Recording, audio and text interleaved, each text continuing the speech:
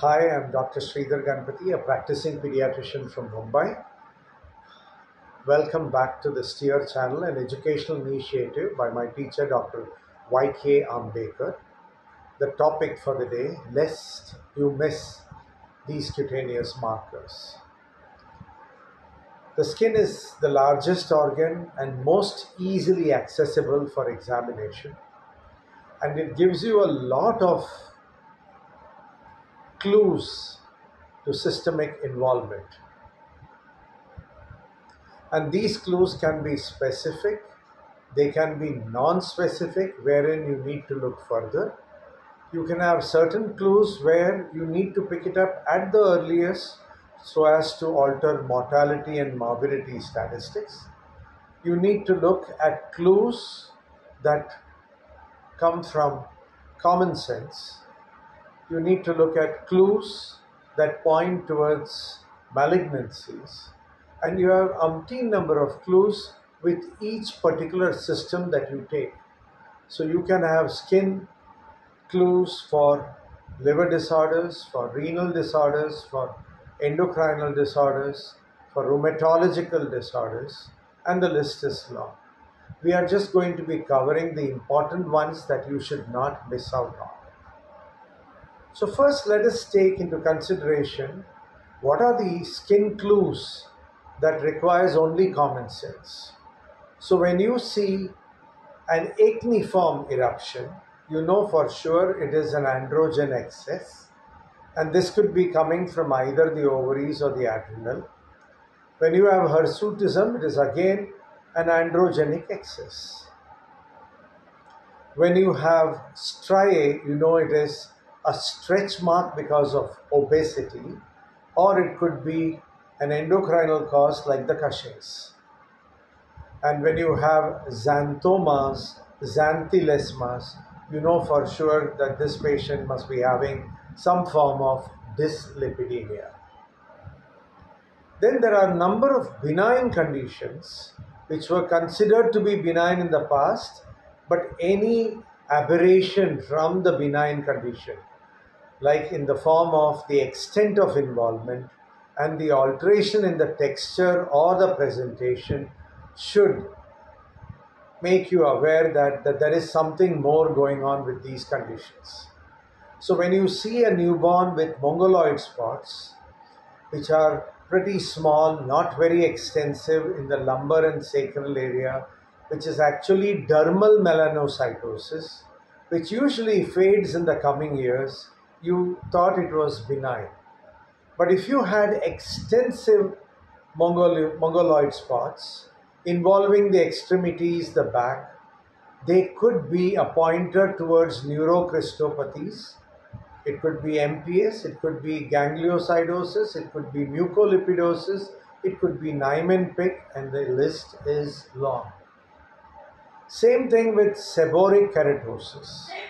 Seborrheic keratosis almost looks like a dirty dripping from the candle wax, and they are dark in color, black or brownish tinge, and they appear and they are considered to be benign, but when they suddenly appear in crops, it could be an indicator of an internal malignancy like an adenocarcinoma of the colon. Same way, when you look at an abnormal whirl of hair on the head, and you tend to neglect it, but in a neurologically handicapped child with an abnormal whirl, this could be an indicator of a migrational disorder of the brain. So, this covers the ones wherein we need to use a lot of common sense and the ones which were considered to be benign. And in the benign category, you should also look at the nest or the nevuses, melanoma. So, melanocytic nevus, alteration of color, structure, border, texture. Yes, you need to think whether it is undergoing a malignant change. Same thing with sebaceous glands. When you have a sebaceous nevus, again you could have some derangement internally when they are extensive or they are growing in size. Coming to specific skin clues. So when I talk about specific skin clues, if I see a port wine stain in the ophthalmic division of the trigeminal nerve, which is a capillary abnormality, I need to peep into the eye for glaucoma as well as into the brain for an angiomatous malformation on the cortex or the leptomeninges. If I find a hemangioma in the area of the beard area of the face, a facial hemangioma, I need to look into the airway because a significant number of these kids would be having an airway hemangioma. If I see a tuft of hair in the midline along the spine, I need to look for spina bifida occult or some form of neural tube defect in the middle. If I find a low hairline, again, it could point out towards an aberration in my cervical spine structure. These are specific. And if you have an angiomatous malformation occupying a part of the face, you need to look inside the posterior fossa because it could be a part of PHACES syndrome. If I do find acanthosis nigricans, that dirty, velvety, hyperkeratotic um, lesion at the back of my neck or in the axilla and the groin, it is a pointer towards insulin resistance and is also seen in obesity. But you can also get an acanthosis nigricans which crops up suddenly and which is extensive in a non obese individual who's not on any drugs that can predispose to it. Like you could have mucocutaneous junctions, the palm and sole being involved, then it fits into a marker for internal malignancies. If you find the nasal cartilage, the cartilage of the ear dark in color, the child passing urine which turns dark black on keeping for some time, you think in terms of alkaptonuria, these children go on to get spondyloarthropathy. So, what I'm trying to say is these are specific markers. Same way you can have a very big cafe au lait which does not cross the center with an irregular margin, a segmental cafe au lait which is associated with the McCune Albright syndrome, wherein you have endocrine abnormalities, fibrous osteitis, of uh, dysplasia of the bone. So the list is long. I'm just trying to tell you common ones that we come across. Then let's go to the non specific skin clues. When we get into the non specific skin clues, we need to look further. So if you find a malar rash, which is so famous in rheumatological clinics, you need to understand it is actually a form of reaction to exposure to sunlight and here you have the malar prominences and even the bridge becoming red. The nasolabial folds are not involved in SLE, whereas they are involved in dermatomyositis. In addition, you may have the heliotrope sign and Gottron's papules in dermatomyositis and multi-system involvement in SLE like thinning of the hair, alopecia which is non-cicatricial and multi-system involvement. Now, if you have an itch, an itch is extremely non-specific, but an intractable itch could be a pointer towards a liver disorder, uremia, a renal disorder. It could be just plain and simple xerosis of old age. But what I'm trying to say is you need to look further. Then coming to pigmentary disorders, you find a child with vitiligo an autoimmune insult where the melanocytes are damaged, you need to look for other autoimmune conditions. Diabetes, you need to look at the thyroid, you need to look at B12 levels for pernicious anemia, and the list goes on. And if you find oculocutaneous albinism, wherein melanin production is at fault, what is very important to understand is there are syndromes associated with immunodeficiency like Chediak Higashi and Griscelli with hair color changes. You have the Hermansky Pudlak syndrome with platelet dysfunction.